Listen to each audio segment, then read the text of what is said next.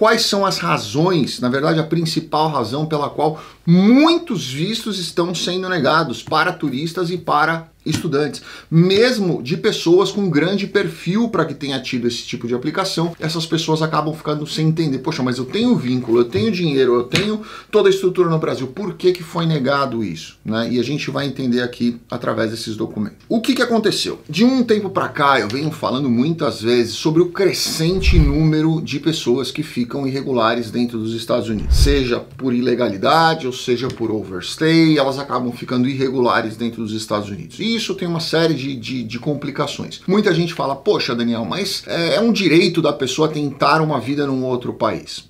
Eu, eu, eu concordo e discordo, né? Pode ser um direito que ela tenha, pensando nela, mas também é um direito do país de não querer que aquela pessoa fique ali, né? Então, porque N questões. Você pode ter uma visita que você é, convida para sua casa e essa visita vai com um amigo e você não gosta do amigo. E é um direito seu de dizer: olha, você é bem-vindo na minha casa, mas aquele seu amigo eu não gosto dele. Ele é uma pessoa mal educada, ou ele abre a minha geladeira sem pedir autorização, ou ele entra aqui querendo sujar minha casa. E isso isso acaba tendo aí uma série de outras consequências desconfortáveis para você, que é dono da casa. Né? Então, as pessoas têm sim o direito de buscar o melhor que é para elas, mas não tem o direito de invadir o espaço dos outros. É isso que eu penso. E se vocês forem olhar por essa questão de invasão de espaço, eu vou falar aqui só de vistos de turismo e estudantes, tá? Só disso. Se vocês pegarem a publicação, eu vou deixar o link aqui na descrição, do, do próprio USCIS, ele coloca é, o número de pessoas que entraram nos Estados Unidos pela, pela fronteira, tá? Não, não, não estouraram fronteira.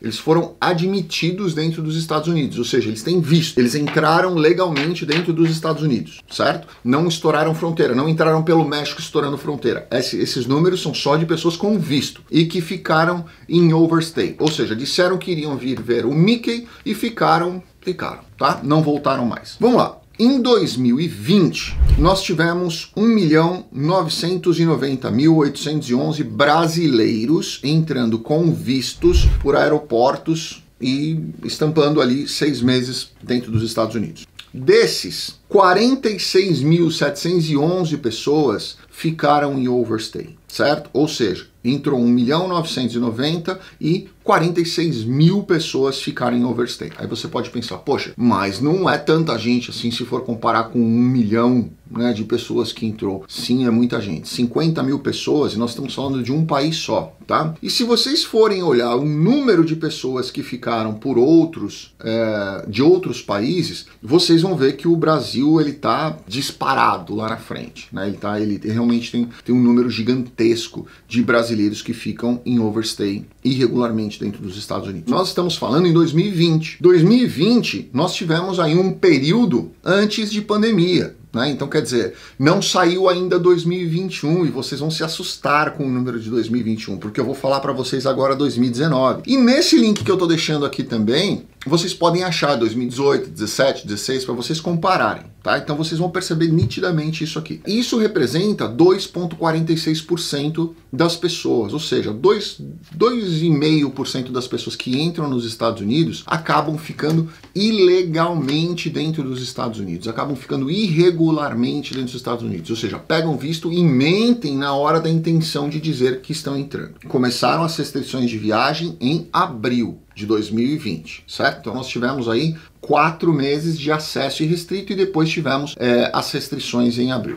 Mas vamos voltar para 2019, tá? Tudo isso que eu estou falando para vocês vai ficar aqui na descrição. Se nós formos para 2019, vocês vão ver que nós tivemos 2.322.284 brasileiros entrando. Ou seja, mais ou menos 400 mil brasileiros a mais, ou seja, 400 mil pessoas a mais vieram para os Estados Unidos. Mas o número de pessoas que ficou em overstay em 2019 foi de 41.487, ou seja, 5 mil pessoas a menos ficaram é, em overstay dentro dos Estados Unidos. Eu estou falando só de brasileiros, tá? Então, quer dizer, em 2019 nós tivemos 400 mil pessoas a mais e nós tivemos entrando nos Estados Unidos e nós tivemos 5 mil pessoas a menos ficando em overstay. Tá entendendo onde eu vou chegar? Vamos continuar. Esse número ele representa 1,8% do total. Ou seja, nós tivemos de 2019 para 2020 um crescimento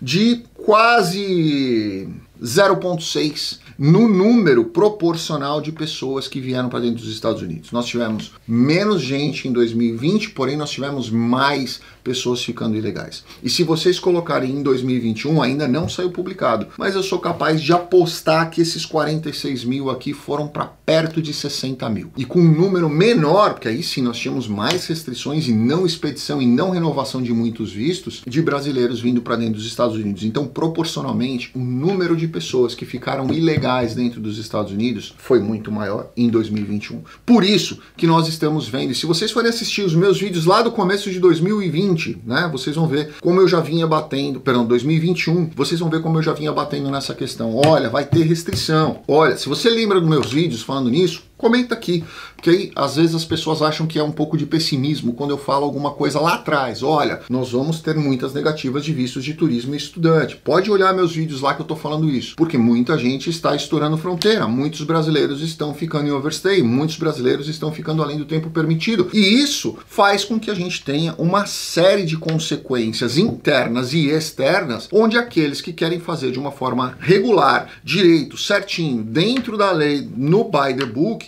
acabem pagando pelo preço daqueles que fizeram de uma forma irregular. E hoje, os americanos olham realmente para os brasileiros e falam: Poxa, eu sei que se uma família, mais ou menos nessa faixa etária, com essa condição financeira, com filhos, vai pedir o visto de estudante para a esposa, é certeza que essa família já tem a intenção de ficar nos Estados Unidos. Então, ela que aplique o visto correto, porque nós vamos negar o visto de, de estudante, se for pedir esse tipo de visto de estudante, e com sorte, não vão cancelar o seu visto de turismo. Se eles entenderem que você realmente é uma boa, tá de boa fé e não, não há risco de você ficar nos Estados Unidos, eles vão manter o seu visto de turismo. Senão, eles podem, inclusive, cancelar o seu visto de turismo por acharem que você quer ficar irregularmente dentro dos Estados Unidos, ou seja, mentindo ali para eles. Então, eu particularmente acho que não é opção a pessoa agir dessa forma, né? ainda mais hoje. Você dar um tiro num visto de turismo ou num visto de estudante, sendo que a intenção é outra, podem ter certeza absoluta que eles vão saber ler. A peneira hoje está com, com furos muito finos e eles vão saber entender